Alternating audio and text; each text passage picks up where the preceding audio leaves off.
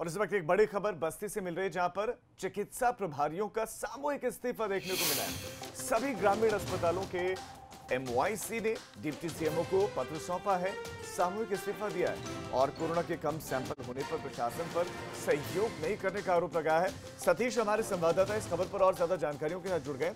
सतीश, कुल कितने लोगों ने इस्तीफा दिया है? और सामूहिक इस्तीफे के पीछे का कारण भी आप बताइए कि क्या क्या बातें थी जो इन्होंने सामूहिक इस्तीफा दिया है? और इस्तीफे के बाद क्या एक्शन हुआ है? देखिए, ज़िले के जितने भी सीएससी और पीएससी के प्रभारी हैं, कुल मिला के बारह लोग हैं। उन सभी ने अपना इस्तीफा सौंपा है और इन्होंने ग्यारह सूत्रीय मांग सौंपी है। उन मांगों में इन सभी का कहना है कि जिला प्रशासन पिछले छह महीने से इनको लगातार सैंपलिंग कम होने की नोटिस दे रहा है। इसके अलावा उन ग्यारह सूत्री मांगों में अन्य बातें भी लिखी गई हैं कि ओपीडी सीएससी और पीएससी पे नहीं चल रही है।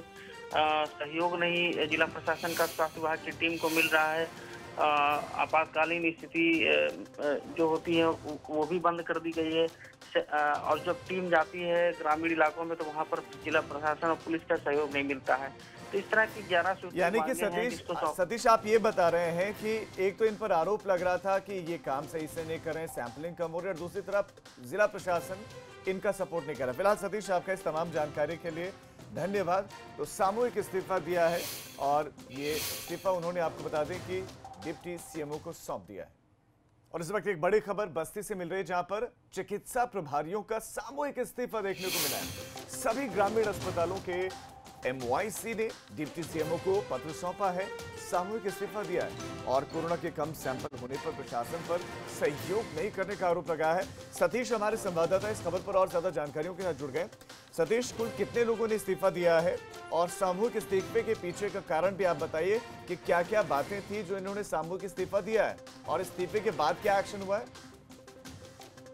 देखिए, ज़िले के जितने भी सीएससी और पीएससी के प्रभारी हैं, कुल मिला के बारह लोग हैं। उन सभी ने अपना इस्तीफा सौंपा है और इन्होंने ग्यारह सूत्रीय मांग सौंपी है।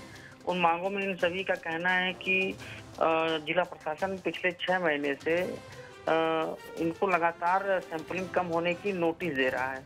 इसके अलावा उन ग्यारह सूत्री मांगों में अन्य बातें भी लिखी गई हैं कि ओपीडी सीएससी और पीएससी पे नहीं चल रही है। सहयोग नहीं, जिला प्रशासन का स्वास्थ्य विभाग की टीम को मिल रहा है। आपातकालीन स्थिति जो होती है वो भी बंद कर दी गई है। और जब टीम जाती है ग्रामीण इलाकों में तो वहाँ पर जिला प्रशासन और पुलिस का सहयोग नहीं मिलता है।